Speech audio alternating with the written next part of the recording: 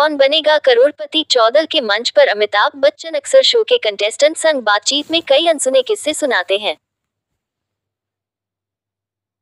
कभी खुद तो कभी अपने परिवार से जुड़ी दिलचस्प कहानियाँ बताते हैं, लेकिन इस बार बिग बी ने केबीसी के मंच पर क्रिकेटर मंसूर अली खान पटौदी के बारे में बात करते हुए उनके संघर्षों और सफलता को याद किया। अभिनेत्री शर्मिला टैगोर के पति और अभिनेता सैफ अली खान के पिता मंसूर अली खान पटौदी भारतीय क्रिकेट के सफल खिलाड़ियों में से एक हैं।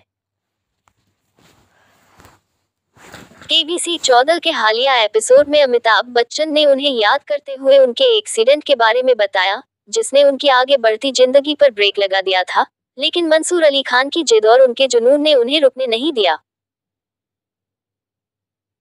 मंसूर अली खान के बारे में बताते हुए अमिताभ बच्चन ने कहा मैं आपको एक ऐसे भारतीय क्रिकेटर के बारे में बताना चाहता हूँ, जिन्होंने एक एक्सीडेंट में अपने एक आँख की रोशनी लगभग पूरी तरह से खो दी थी।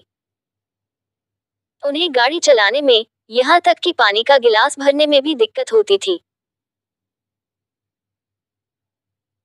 इन कठिनाइयों का सामना करते हुए उन्हें लगा कि शायद उनका क्रिकेटिंग करियर अब खत्म हो गया है।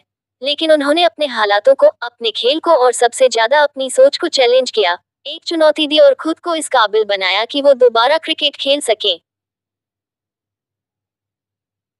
बिग बी ने आगे कहा, इसका परिणाम यह हुआ कि उस एक्सीडेंट के सिर्फ़ छह महीनों के बाद ही वह अपने समय के भारत के यंगेस्ट कप्तान बनाए गए और उनके नेतृत्व में भारत ने पहली बार विदेशी धरती पर एक क्रिकेट टेस्ट सीरीज़ जीती।